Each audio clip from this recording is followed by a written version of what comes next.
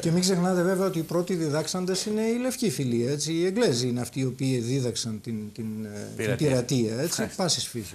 Ε, λοιπόν, οι δυνάμεις που μπορούσαν να επεκτείνουν την κυριαρχία βάλουμε... τους σε πλανητικές σφαίρες. Α βάλουμε μία άνω τελεία στο θέμα. Θα επανέλθουμε στην εκπομπή γιατί θέλω να περάσουμε αμέσως στο επόμενο μεγάλο μας θέμα που είναι αυτή η περίφημη λέσχη Bilderberg. Γιατί κάνουμε την εκπομπή, γιατί κάνουμε το θέμα αυτό; Διότι το Μάιο στον Αστέρα, στο Λαγονίσι, για δύο μέρες θα έρθουν οι εκλεκτοί του κόσμου μας, με συμμετοχή και Ελλήνων εκλεκτών, θα τους δείτε ποιοι είναι. Τρεις είναι οι μέρες. Πάντα τρει ημέρε. Τρεις μέρες, ναι. ναι η ταφή και να... Έχετε συμμετάσχει εσεί σε τέτοια συνεδρία. Όχι, αλλά γνωρίζω. Σας βλέπω πολύ ενημερωμένο, κύριε ε, Γνωρίζω ορισμένα. Ναι, μπράβο. Ω αστροφυσικός. Ω αστροφυσικός. Παρατηρώντα τα φαινόμενα. Το θέμα, ξέρετε ποιο είναι; Το θέμα είναι το εξής. Ότι υπάρχει ήδη ε, μία ανησυχία ότι μιλάμε για κάποιους ανθρώπους, θα τους δείτε περίπου ποιοι είναι, μεγάλες τράπεζες, ε, πολιτικοί, από όλες τις χώρες κλπ. οι οποίοι εν, και κάποιους συγκροτούν μια όρατη κυβέρνηση, παγκόσμια κυβέρνηση, η οποία αποφασίζει για τις τύχες μας, ερήμην μας. Επειδή λοιπόν θα έρθουν εδώ πέρα το Μάιο και σε ένα μήνα περίπου, σε ένα μήνα, ποιες μήνα, σε 20 μέρες, θα τους βρούμε όλοι στο Λαγονίσι και επειδή απαγορεύεται η προσέγγιση και δημοσιογράφων, διότι όλα αυτά γίνονται με κλειστές πόρτες και οι αποφάσεις και οι συζητήσεις που γίνονται δεν επιτρέπεται να βγαίνουν στη δημοσιότητα, εμείς προσπαθήσαμε να μάθουμε τι ζητάει η λύση Μπίντερμπεργκ στην Ελλάδα. Διότι έχουν ξανάρθει εδώ πέρα το 1993. Πάμε λοιπόν να δούμε αυτό το θέμα και θα το κουβεντιάσουμε.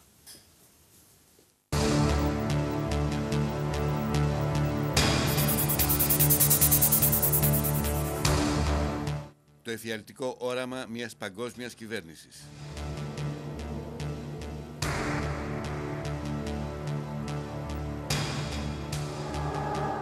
Η καρδιά του κόσμου μας θα χτυπάει πίσω από τις κλειστές πόρτες του ξενοδοχείου Αστέρας Βουλιαγμένης για δύο μέρες, 14 με 16 Μάη, στη συνάντηση των μελών της λέσχης Bilderberg. Είναι τα μέλη μιας αόρατης παγκόσμιας κυβέρνησης που θα αποφασίσουν για την επόμενη μέρα του πλανήτη μας και τα παγκόσμια μέτρα που πρέπει να ληφθούν για να ξεπεράσουμε την οικονομική κρίση. Ποια είναι όμως αυτή η περίφημη λέσχη Bilderberg που τα μέλη της συναντιούνται κάθε χρόνο υπό απόλυτη μυστικότητα και καθορίζουν τις τύχες του κόσμου μας; Τι στόχους έχει και γιατί απαγορεύεται αυστηρά κάθε προσέγγιση δημοσιογράφου, οποίοι προσπαθούν να παραβιάσουν την μυστικότητα των συνεδριάσεων, συλλαμβάνονται αμέσως.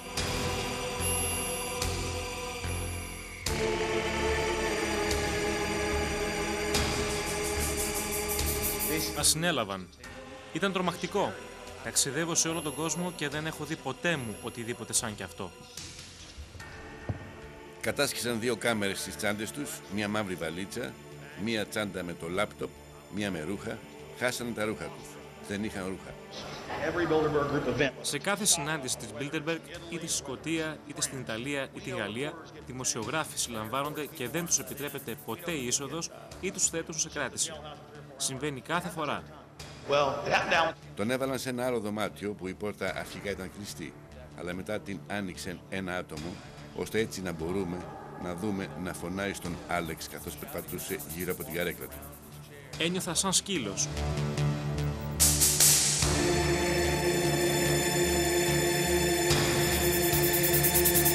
Μέσα σε απόλυτη μυστικότητα, τα ενεργά μέλη της Λέσχης, αλλά και οι προσκεκλημένοι τους σαν παρατηρητές, συζητούν, αποφασίζουν και σχεδιάζουν το μέλλον της ανθρωπότητας. Οι αποφάσεις τους θα περάσουν μετά στις κυβερνήσεις των μεγάλων χωρών για υλοποίηση. Η βουλευτής του Πασό, κυρία Άννα Διαμαντοπούλου, που παρίστατο στη συνάντηση της Bilderberg που έγινε στην Τουρκία το 2008, δήλωσε σε εκπομπή του τηλεοπτικού σταθμού Sky.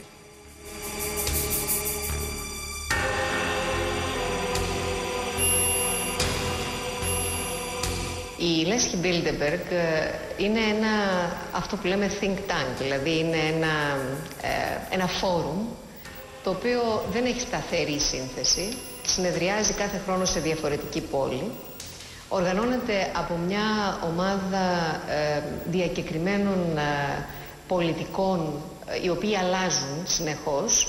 Φέτος τα ζητήματα, σε αυτή που συμμετείχα εγώ φέτος, τα θέματα ήταν ε, συνολικά ήταν γύρω στις 20 ενότητες. Από αυτές οι 5 αφορούσαν το κλίμα και τις κλιματικές αλλαγές με πολύ μεγάλα ονόματα στο χώρο του περιβάλλοντος που έδειχναν τις, δυνατό, τις σχέσεις ανάπτυξης οικονομίας και περιβάλλοντος. Ήταν τα ενεργειακά ζητήματα, ήταν τα θέματα μετακίνησης πληθυσμού, ε, ήταν το θέμα το, της αλλαγής των προεκλογικών εκστρατιών που είναι πολύ ενδιαφέρον και πώς μπαίνει το YouTube στη ζωή μας.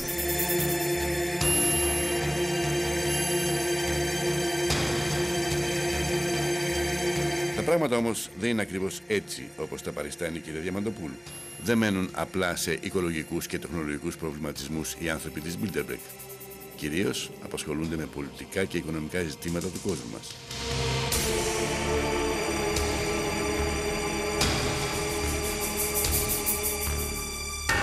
Προ δύο περίπου εβδομάδων, ο τραπεζίτης ο Γάλλος Rothschild είχε δηλώσει ένα άρθρο του ότι σκοπεύουμε στη νέα αρχιτεκτονική του χρηματοπιστωτικού συστήματος.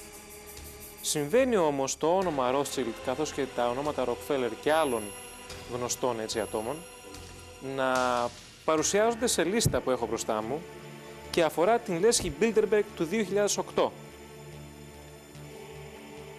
που έγινε, που έλαβε χώρα συγκεκριμένα στην Κωνσταντινούπολη. Τα ονόματα αυτά εσείς τα έχετε συναντήσει σε περιπτώσεις τις οποίες να σχετίζονται με την οικονομική κρίση και την παρούσα κατάσταση; Ε, έχουν εμπλακεί τα ονόματα τα συγκεκριμένα και του κυρίου Ροκφέλλερ και του κυρίου Ρότσιλτ, όπως επίσης και άλλων ανθρώπων. Ε, έχουμε και άλλα ονόματα που διαρκώς τα συναντάμε μπροστά μας και θεωρώ ότι είναι άνθρωποι με πάρα πολύ μεγάλη συγκέντρωση δύναμης και πλούτου, οι οποίοι ασφαλώς και δεν θέλουν να συνεδριάζουν προφανώς με ανοιχτές πόρτες για να ακούμε τι λένε και τι αποφασίζουν.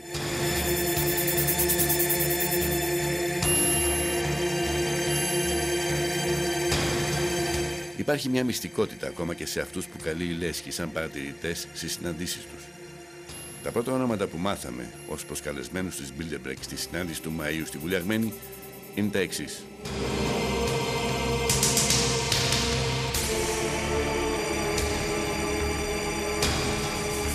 Γιώργος Παπανδρέου, πρόεδρος Πασόκ.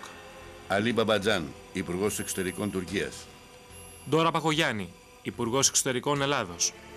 Μιγγέλ Άγχελ Μορατίνο, Υπουργός Εξωτερικών Ισπανίας. Τίμωθη Γκάιντερ, πρώην Υπουργός Εξωτερικών Ηνωμένων Πολιτειών Αμερικής. Ρίτσαρντ Χόλμπουργκ, πρώην Υπουργός Εξωτερικών Ηνωμένων Πολιτειών. James Jones, Επικεφαλής Συμβουλίου Εθνικής Ασφαλείας Ηνωμένων Πολιτειών Αμερικής. Βασίλισσα Βεατρίκη της Ολλανδίας. Βασίλισσα Σοφία της Ισπανίας. Ντομένικο Συνίσκαλο, πρόεδρος Συνίσκαλο, Ηνω... πρόεδρο Έπαιζα και Εταιρεία Διεθνών Επενδύσεων. Λόρεν Σάμερς. Λόρεν Σάμερς. Λόρεν Ομπάμα. Χωσέ Λουίς Θερμπιάν, διευθύνων του Ισπανικού Ομίλου Μέσων Μαζικής Ενημέρωσης Πρέσα. Λουκάς Τσούκαλης, επικεφαλής Ελιαμέπ, Ελληνικού Ιδρύματος Άμυνας και Εξωτερικής Πολιτικής.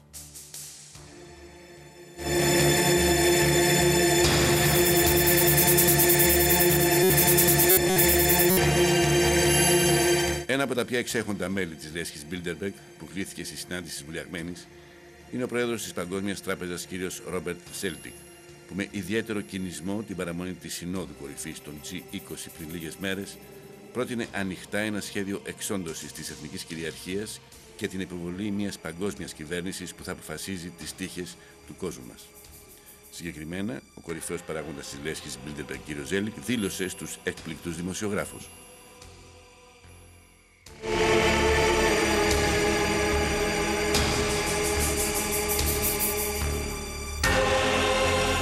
Αν οι ηγέτες έχουν σοβαρές προθέσεις για τη δημιουργία νέων παγκόσμιων ευθυνών ή κυβέρνησης, τότε θα πρέπει να εφαρμόσουν άμεσα μέτρα ώστε να ενισχύσουν το Παγκόσμιο Οργανισμό Εμπορίου, το Διεθνές Νομισματικό Ταμείο και την Παγκόσμια Τράπεζα, ώστε να μπορούν να ελέγχουν τις εθνικές πολιτικές.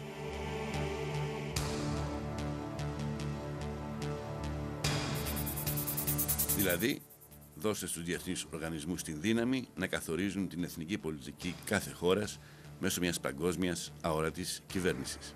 Ο Ζέλικ, πρώην αντιπρόεδρος της Φάνι Μέι και σύμβουλος της Goldman Sachs, ενεπλάκη έντονα στο σκάνδαλο Enron, καθώς και στις εθνικές εκλογές του 2000 στις ΗΠΑ. Υπόγραψε επιπλέον το έγγραφο με τίτλο Σχέδιο για μια νέα Αμερική, το οποίο όριζε την επέμβαση στο Ιράκ σαν τμήμα δημιουργίας μιας βίαιης παγκόσμιας αυτοκρατορίας το 1998. Αργότερα υπηρέτησε σαν σύμβουλος του George Bush. Ο Ζέλικ είναι μέλος της Επιτροπής Εξωτερικών Σχέσεων των ΗΠΑ και της Τριμέρους Επιτροπής. Παρέσει στις αιτήσεις συναντήσεις της Λέσχης Bilderberg το 1991, 2003, 2006 και 2007.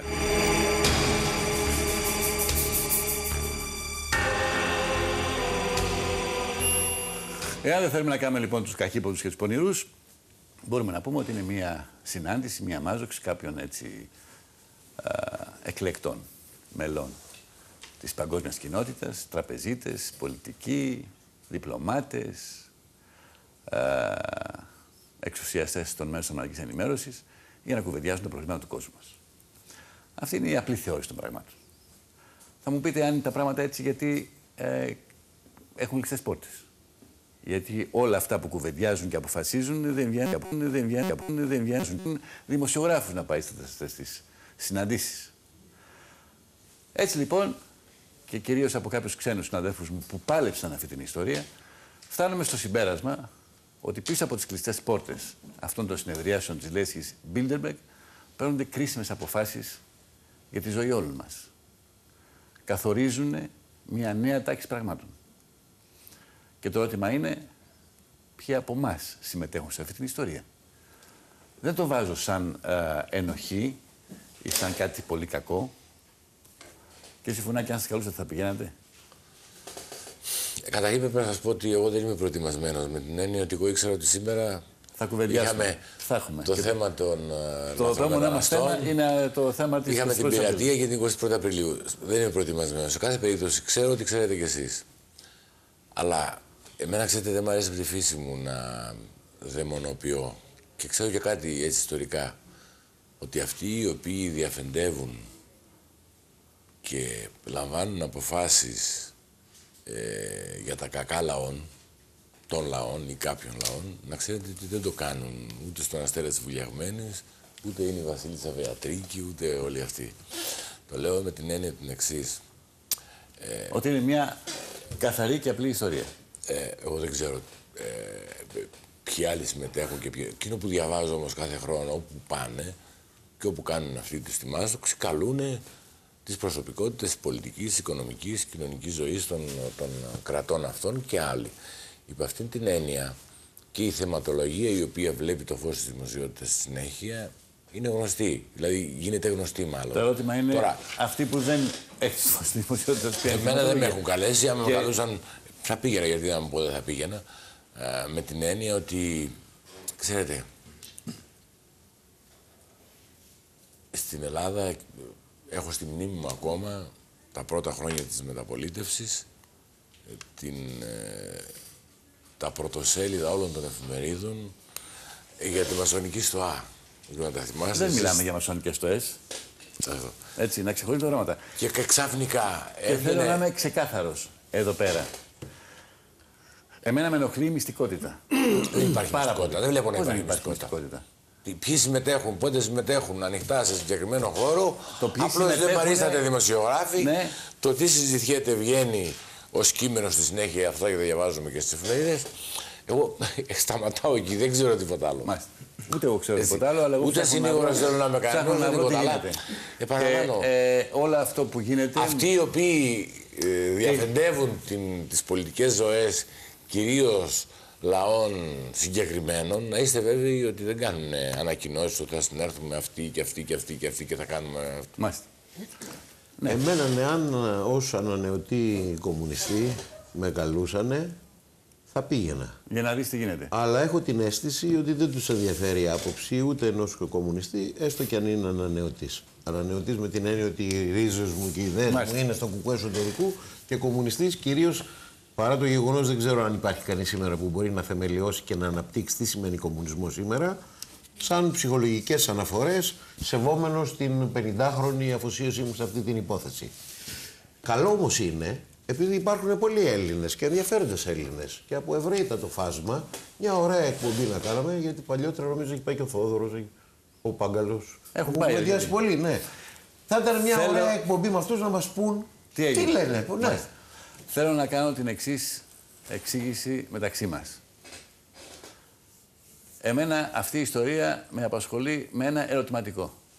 Και το ερωτηματικό το δικό μου είναι γιατί κλειστές πόρτες, τι αποφασίζουν, τι κουβεντιάζουν, γιατί αυτή η συνάντηση τραπεζιτών, διεθνών, πολιτικών που ασχολούνται κυρίως με την εξωτερική πολιτική. Θα ακούσετε στη συνέχεια, γι' αυτό βιαζόμαστε λιγάκι με τις ε, τοποθετήσεις που κάνουμε. Θα ακούσετε συνέχεια μέσα από την έρευνα τη δημοσιογραφική που κάναμε, τι έχουν βρει κάποιοι ξένοι δημοσιογράφοι. Τι γίνεται πίσω από τις κλειστές πόρτες σε αυτές τις συναντήσεις της Λέσχης Μπίλτεμπεκ. Και βεβαίως δεν είναι ψόγος το ότι συμμετέχουν κάποιοι Έλληνες. Απλά βλέπουμε ποιοι Έλληνες συμμετέχουν. Και αυτό είναι ένα θέμα που πραγματικά έχει πολύ μεγάλο ενδιαφέρον να σημειώσουμε ότι στις προσπάθειες της δικές μας να μάθουμε και να επικοινωνήσουμε με κάποιους από αυτούς που ήταν μέσα εκεί, στην Κωνσταντινούπολη και, περασμένα, και περασμένες ε, εποχές, τι κουβεντιάσατε, τι αποφασίσατε, διότι οι Έλληνες συνήθως καλούνται ως παρατηρητές. Αυτοί που αποφασίζουν δεν είναι Έλληνες. Δεν είναι έτσι. Έτσι είναι. Και δεν καλούνται ως παρατηρητές. Είναι προσκεκλημένοι. Πάμε σε ένα ρωτήσουμε λίγο το μυστήριο αυτό της λέσχης Bilderberg που θα συνεδριάσουν το Μάιο στην Αθήνα, στο Λαγονίσι, σε λίγες μέρες δηλαδή. Θα έρθουν εδώ πέρα διάφοροι άνθρωποι από όλο τον κόσμο και θα καθίσουν πίσω από κλειστέ πόρτες να συζητήσουν και να αποφασίσουν. Ε, σε μια έτσι πρώτη θεώρηση του πράγματος μπορεί να πει κανείς ότι είναι, δεν είναι κακό για την Ελλάδα να έρθουν εδώ πέρα προσωπικότητες από όλο τον κόσμο και να κάθονται να κουβεντιάζουν. Ε, Ξέρετε ποιος θα πληρώνει τα έξοδα; Είναι η χορηγή για να γίνει. Το ξέρω. Και να το πω. Α, να το πείτε. Λοιπόν. Ε... Έχει δίκιο. Οι πειρατές της Ομαλίας. Ναι, οι πειρατές της Ομαλίας, ακριβώς. Όχι, άλλοι πειρατές. Για μένα πάντοτε υπάρχει αυτό το ερωτηματικό. Γιατί κλειστές πόρτες και τι αποφασίζουν αυτοί οι άνθρωποι. Τα τηλέφωνα της εκπομπής που έχουν σπάσει, το 90% λέτε ποιοι είναι αυτοί που θα μετάσχουν. Ποιοι μετέχουν. Θα τους δείτε ποιοι μετέχουν.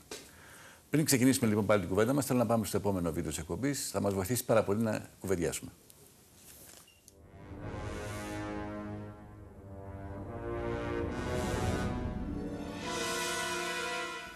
Δίκτυο ελέγχου των πολιτικών.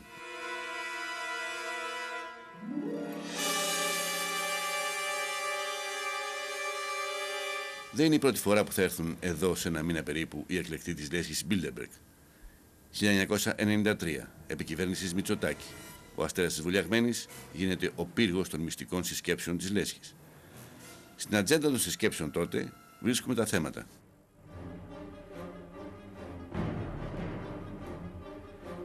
Τι είδους Ευρώπη θα καλούνταν η Αμερική να αντιμετωπίσει; Προβληματισμοί της Αμερικανικής εξωτερικής πολιτικής. Η αναδόμηση εμπιστοσύνης προς τις ηγεσίες και τους θεσμούς. Η προβλέψη για την Ιαπωνική οικονομία οι προοπτικές του διεθνούς εμπορίου, το κόστος της απάθειας προς την πρώην Σοβιετική Ένωση.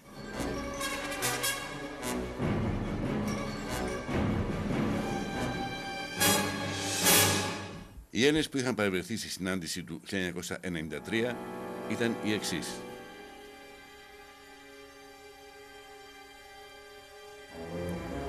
Στέλιος Αργυρός, πρόεδρος Ελλήνων Βιομηχάνων. Κώστας Καράς, επιχειρηματίας. Γρηγόριος Χατζιελευθεριάδης, αντιπρόεδρος της εταιρείας Electron Corporation. Γιώργος Λιβανός, εφοπλιστής. Γιάννης Λύρας, πρόεδρος Ένωσης Πλειοκτητών. Στέφανος Μάνος, πρώην Υπουργός. Κωνσταντίνος Μητσοτάκης, πρώην Πρωθυπουργός. Μιχάλης Παπακοσταντίνου, πρώην Υπουργός Άμυνας και Εξωτερικών. Θεόδωρος Παπαλεξόπουλος, πρόεδρος της μετοβιομηχανίας Τιτάν. Μιχάλης Περατικός, εφοπλιστής. Θάνος Βερεμής, καθηγητής Πανεπιστημίου. Θεμιστοκλής Βόλκος, πρόεδρος του Οργανισμού Θαλασσίου Εμπορίου. Στην περιστινή συνάντηση της Μπίντερμπεργκ στην Κωνσταντινούπολη από ελληνικής πλευράς παραβρέθηκαν οι Γιώργος Αλογοσκούφης, τέος Υπουργός, Άννα Διαμαντοπούλου, βουλευτής Πασόκ, Αλέξης Παπαχελάς, δημοσιογράφος, Δημήτρης Παπαλεξόπουλος, διευθύνων σύμβουλος Τιτάν, Θωμάς Βαρβιτσιώτης, πρόεδρος εταιρείας τηλεπικοινωνίας.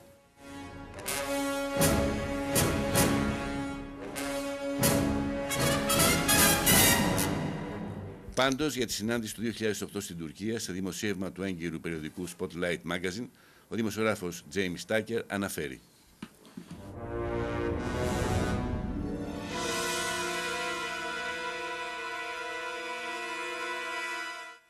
Η Λέσχη Bilderberg συναντήθηκε προκειμένου να συζητήσει τρόπους εκμετάλλευσης των φυσικών πόρων της πρώην Σοβιετικής Ένωσης και της Ινδοκίνας. Όσο και αν ακούγεται περίεργο, στην ατζέντα συμπεριλαμβανόταν και η λύση του οικολογικού προβλήματος με στόχο οι βιομήχανοι να επωφεληθούν από τις πωλήσεις της αντιρρυπαντικής τεχνολογίας.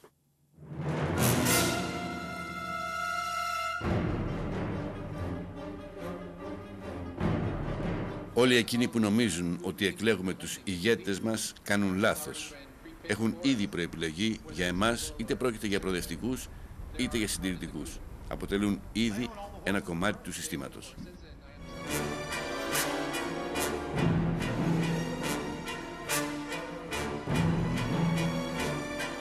Ένα ζήτημα το οποίο προκαλεί πολύ μεγάλη περιέργεια στον κόσμο είναι πώς επιλέγουν τα άτομα αυτά, με ποια κριτήρια. Ε, αν δούμε τις λίστες των ανθρώπων που έχουν συμμετάσχει σε όλα αυτά τα χρόνια, θα δούμε ότι είναι πρώτον οικονομικοί παράγοντες στις χώρες τους, ισχυροί, πολιτικοί οι οποίοι έχουν μία άποψη για τα πράγματα και άλλοι επίσης παράγοντες της ε, κοινωνίας οι οποίοι θα μπορούν να επηρεάσουν κάποιες κοινωνικές ομάδες.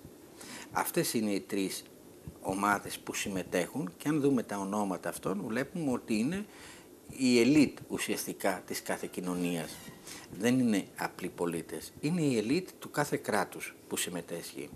Από εκεί και πέρα βέβαια υπάρχει και μια διαδικασία που πολλές φορές πιστεύουμε ότι οι συμμετέχοντες είναι οι επόμενοι ηγέτες, κάτι το οποίο ναι μεν κάποιες στιγμές μπορεί είτε συγκυριακά είτε με σύμπτωση είτε και προγραμματισμένα να το δούμε, να γίνεται κάποιο μέλος της ηγέτης σε μια χώρα.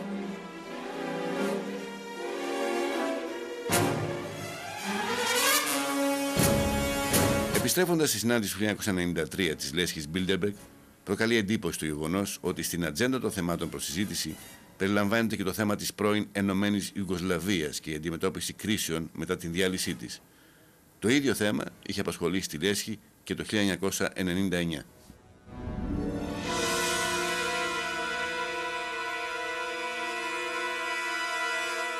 Ο Ζεράρντ Άλτερ είναι ερευνητής του Ολλανδικού Ινστιτούτου Πολεμικών Εγγράφων. Στα αρχεία που ερευνούσε για την καθημερινή του εργασία στο Λονδίνο, ανακάλυψε κατά λάθος έγγραφα για τη λέσχη Bilderberg. Ήταν μοναδικά, γιατί ήταν άκρος απόρριτα, όπως και η λίστα των συμμετεχόντων. Αυτή η αναφορά είναι από το Συντρέ το 1999 και αφορά το Κόσοβο. Δεν χρησιμοποιούν ονόματα. Απλά αναφέρουν πως οι πρώτοι πανελίστες είπαν αυτό και οι δεύτεροι είπαν κάτι άλλο. Οι μυστικές υπηρεσίες, ιδιαίτερα η CIA και η Αμερικανική Υπηρεσία Κατασκοπία, έπαιξαν σημαντικό ρόλο στην αρχή της, ιδιαίτερα στη χρηματοδότησή της. Την υποστήριξαν με πολύ μεγάλα χρηματικά ποσά.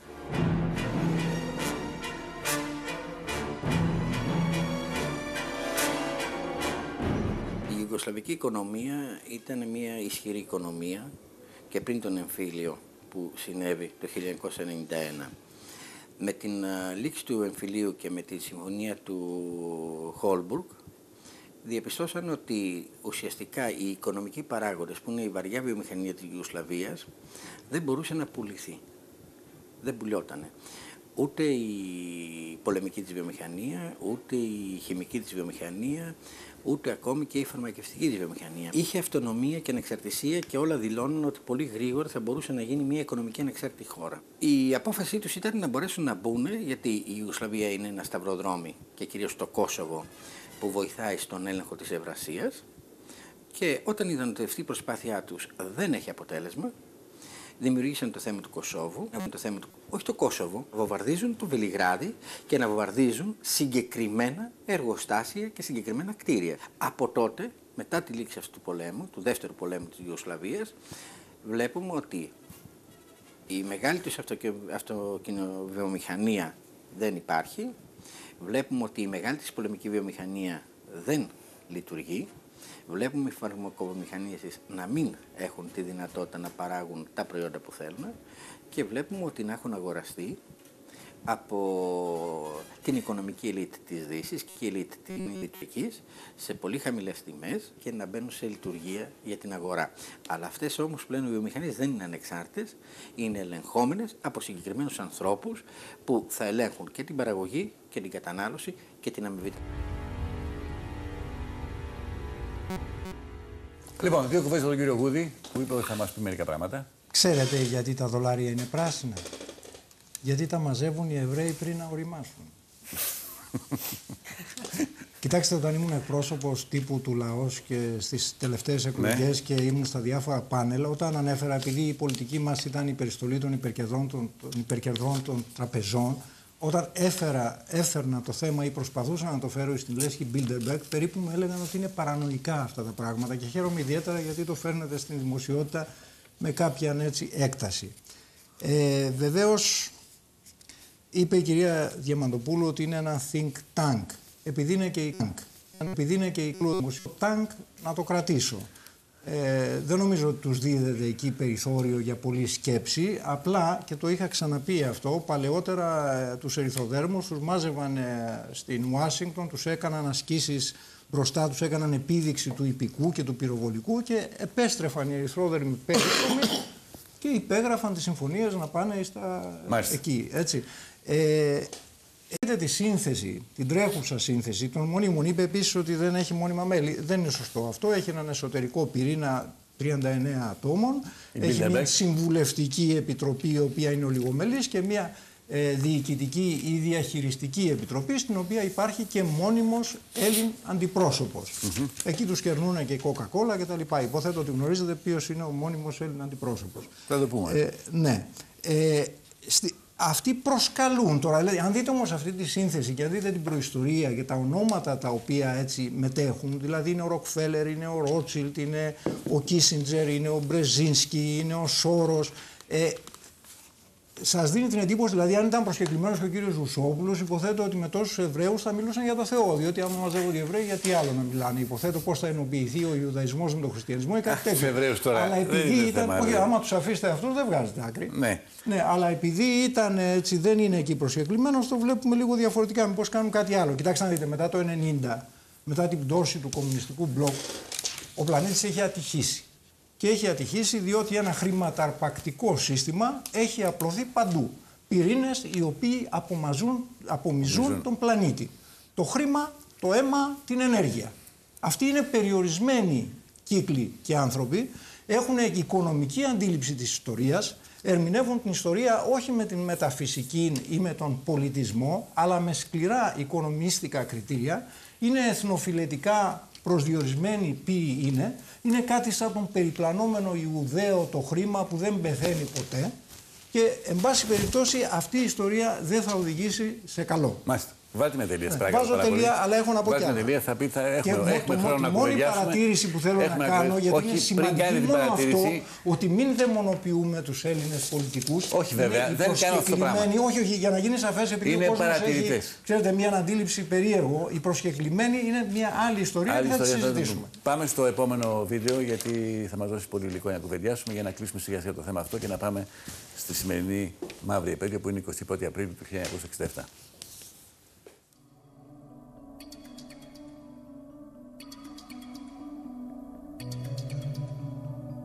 Όλη η μαύρη Αμερική συμμετέχει στην Bilderberg.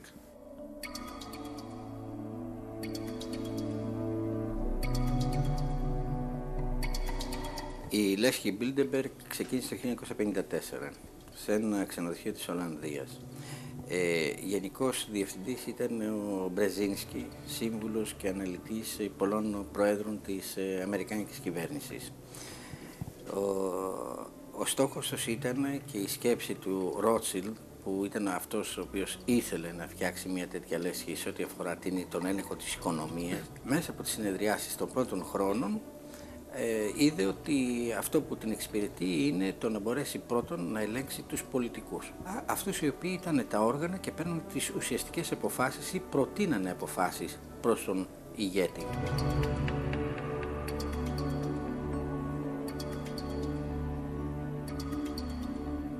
Το συνέδριο της Bilderberg ξεκίνησε σε αυτό το ξενοδοχείο στο Ούστερμπεκ.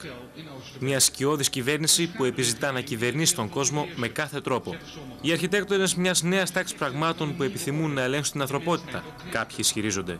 Ή μήπως πρόκειται για ένα φόρουμ συζήτησης υψηλών προσωπικότητων των πιο ισχυρών ατόμων σε αυτόν τον πλανήτη;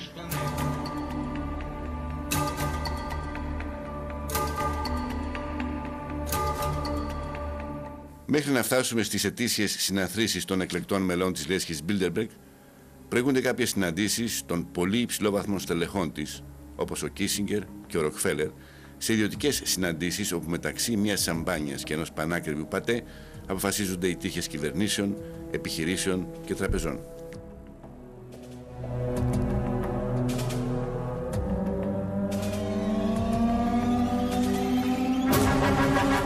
Παντρεμένος με τη Lady Sarah Churchill και έτσι μπήκα σε ένα πολύ στενό κύκλο εγγλέζικο και αμερικάνικο. Αυτοί οι κύκλοι δεν είναι μόνο αριστοκρατικοί, είναι πολύ λίγοι αριστοκράτες που έχουν πληροφορία και οι οποίοι βέβαια α, σχετίζονται με κέντρα α, διευθυντικά στον κόσμο. Κέντρα εξουσίας δηλαδή. Κέντρα εξουσίας στην Αμερική και στην Αγγλία.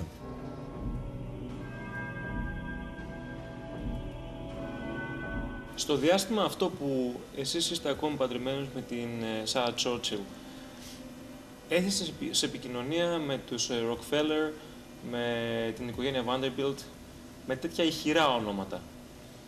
Η πληροφόρηση που έχετε μετά την πρώτη πενταετία, τι αποκαλύπτει σε εσάς που δείχνει ότι υπάρχει μια υπόγεια δράση τέτοιων, αν θέλετε, αδελφοτήτων, εταιριών, όπως νομίζετε μπορείτε να τις χαρακτηρίσετε. Α, έβλεπα και άκουγα μπροστά μου να γίνονται συζητήσεις α, του τύπου τι θα κάνουμε με αυτόν τον πολιτικό και τι θα γίνει με αυτόν και αυτός δεν πρέπει να συνεχίσει ή πρέπει να βοηθήσουμε αυτόν ή πρέπει να κάνουμε αυτό. Δηλαδή μια α, παρέμβαση στην πολιτική ζωή της Αμερικής.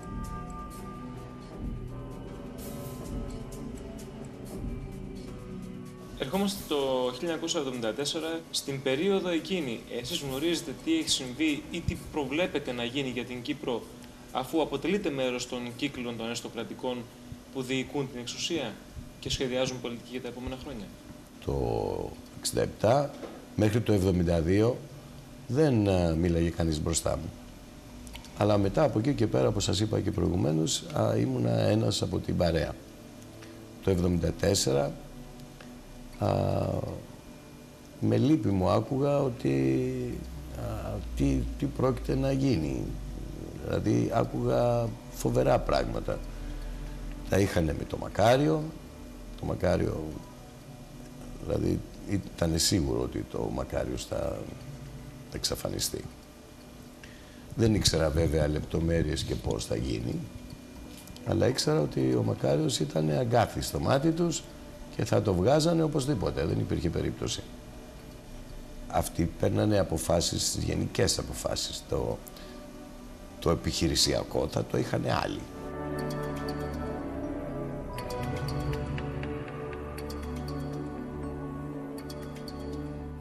Πέρυσι, στη σύνοδο της Bilderberg στην Κωνσταντινούπολη, ήταν παρόντα και πολλά στελέχη τραπεζών. Τα λεγόμενα Golden Boys. Τραπεζών που συγκέντρωσαν τα τοξικά απόβλητα των τελευταίων ετών και δημιούργησαν την παγκόσμια οικονομική κρίση, καθώς και πολιτική των σκοτεινών διαδρόμων της Αμερικανικής εξουσίας. Σύνοδος Λέσχη Bilderberg 2008 στην Κωνσταντινούπολη. Συμμετοχές. Γιώζεφ Άκερμαν, πρόεδρος Deutsche Bank. Keith Alexander, Διευθυντής Γραφείου Εθνικής Ασφάλειας Ηνωμένων Πολιτειών Αμερικής. Ιωακίμ Αλμούνια, Ευρωπαίος Επίτροπος. Φράγκο Μπερναμπέ, Πρόεδρος Ομίλου Ρότσιλτ στην Ευρώπη. Μπεν Μπερνάκε, Πρόεδρος της Επιτροπής του Ομοσπονδιακού Αποθεματικού Συστήματος. Έντμουν Κλάρκ, Πρόεδρος της Τράπεζας TD Financial Group.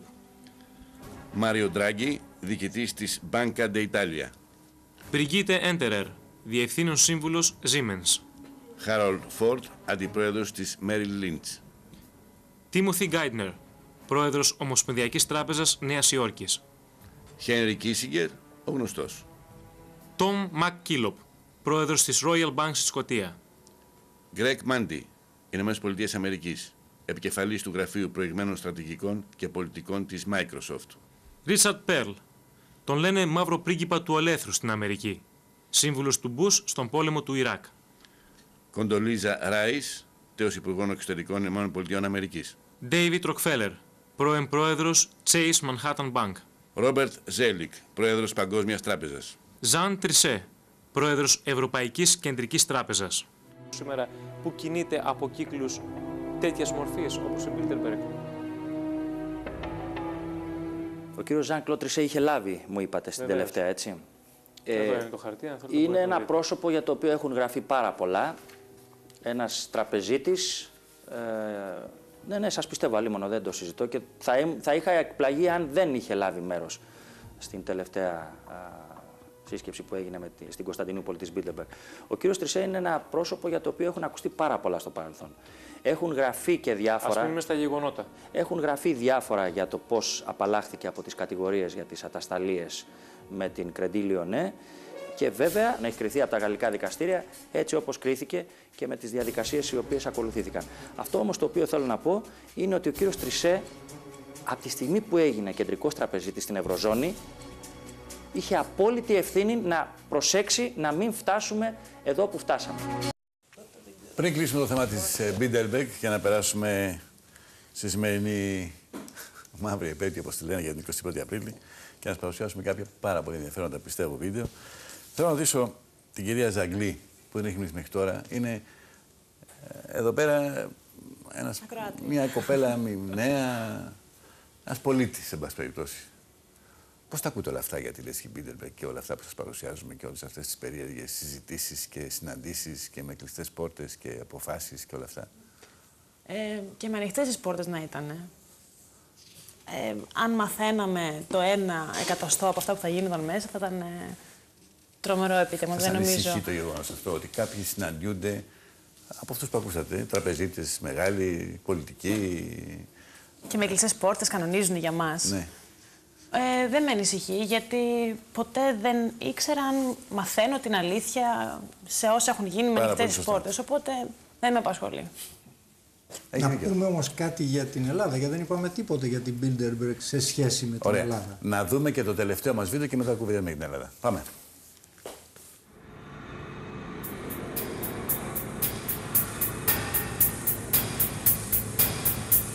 Καθόρισαν και την πτώση Μητσοτάκη;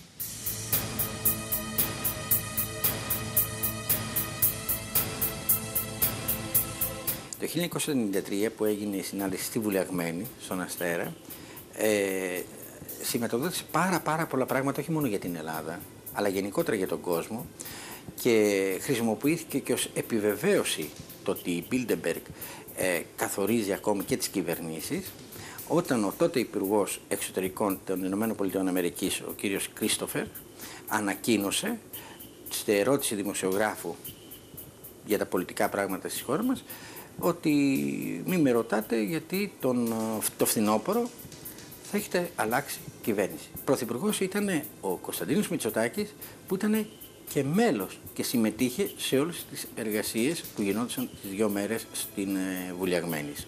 Μαζί και με τον Κίσιγκερ, μαζί με όλους αυτούς, τον Πρεζίνσκι, με όλους αυτούς. Το Σεπτέμβριο είχαμε την πτώση της κυβέρνησης του Μητσοτάκη, πήγαμε σε εκλογές και άλλαξε η κυβέρνηση.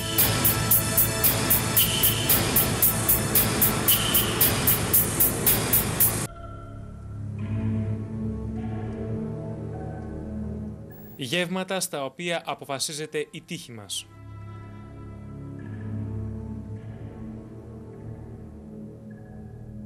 Εγώ είχα παραστεί σε ένα γεύμα στο Southampton, Long Island, α, στο σπίτι της γιαγιάς της γυναίκας μου και ήταν σε αυτό και Rockefeller και ο Henry Ford και ο Kissinger μαζί με δύο-τρεις άλλους και, ο, και η ο κύριος και η κυρία Lloyd Smith, οι οποίοι έχουν και αυτοί κάποια σχέση με την Ελλάδα. Ποια είναι η σχέση τους; Αυτοί χρηματοδότησαν α, στην Πάτμο, στο μοναστήρι της Πάτμου, χρηματοδότησαν τη μετατροπή όλων των αρχείων σε ψηφιακό, σε μικροφίλμ όλων των θησαυρών της Πάτμου.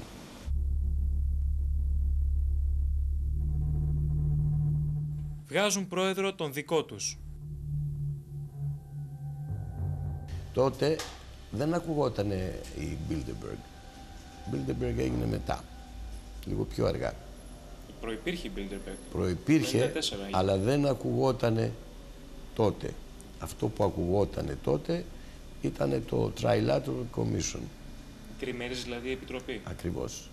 Στην οποία τότε α, ήταν η Θάτσερ, ήταν και ο Κάρτερ και τα λοιπά. Δεν ήξερα ότι ήταν, αυτή ήταν η τριμερής επιτροπή. Και μιλάω για την εποχή Θάτσερ ειδικά. Και για τον Κάρτερ που ξαφνικά ο Κάρτερ εμφανίστηκε και έγινε πρόεδρος των Ηνωμένων Πολιτειών από το πουθενά. Όπως το, αυτή τη στιγμή και ο Ομπάμα, έτσι.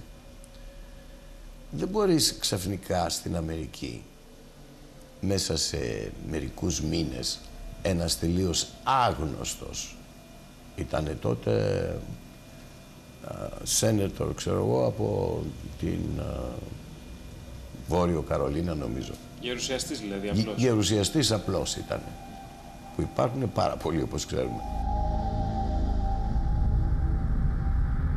Ήταν ένας χρηματιστής που λεγόταν Φρέντι Μελχάντο. Ο Φρέντι Μελχάντο ήταν και ο χρηματιστής της γυναίκας μου. Και τρώγαμε ένα μεσημέρι και λέει, ξέρετε, λέει ο επόμενος πρόεδρος θα είναι ο Κάρτερ. Ποιος είναι ο Κάρτερ; Ε, λέει, θα το, θα το δείτε, λέει, ποιος είναι. Θα είναι ο επόμενος πρόεδρος των Ηνωμένων Πολιτειών. Άντε του λέω που δεν είναι, είναι δυνατόν τώρα να κάποιος τελείως άγνωστος, ας πούμε. Όχι, λέει, αυτός θα είναι. Και ήτανε.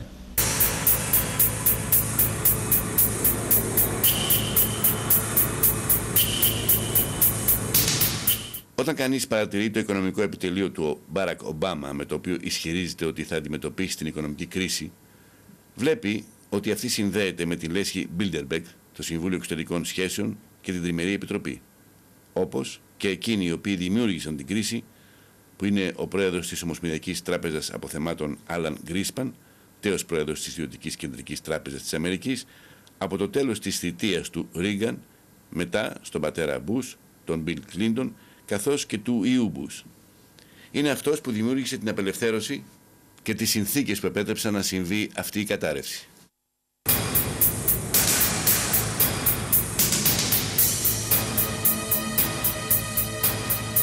Ο Φρανκ Ντεγκράβε, τέως Υπουργός Αμύνης, συμμετείχε το 1999 στη συνεδρίαση της Bilderberg στην Πορτογαλία. Μιλήσατε με κάποιους ανθρώπους εκεί πέρα. Είχατε κάποιες ανεπίσημες επαφές. Ποιες ήταν αυτές; Η πιο εντυπωσιακή στιγμή ήταν όταν έφτασαν νωρίς και ένας άντρα καθόταν στο πίσω τραπέζι μόνος του. Σκέφτηκα, α το συντροφέψω. Είχαμε μια πολύ ευχάριστη κουβέντα και τελικά ήταν ο Ντόναλτ Ράμσφελτ, ο Υπουργός Άμυνας του Μπού. Συνάντησα επίσης εκεί κάποιον που τύχανε να είναι ο πρόεδρος της Goldman Sachs, ο οποίος ανακοίνωσε τις πολιτικές του φιλοδοξίες. Αργότερα, διάβασα σε μια εφημερίδα ότι εκλέχθηκε κυβερνήτης του Connecticut.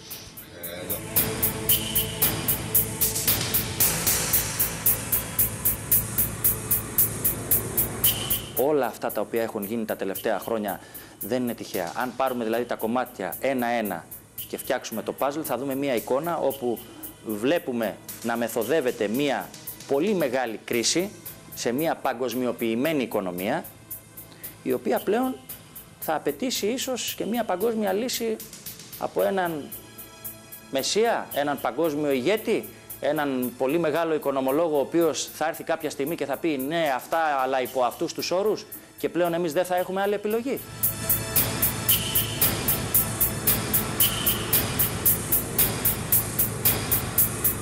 Ένα από τα ωφέλη που αποκομίζει το μυστικό δίκτυο από αυτή την οικονομική κρίση είναι ότι επιθυμούν να ξεσηκώσουν τον κόσμο σε διαδηλώσεις, σε αντίπεινα της οικονομικής καταστροφής.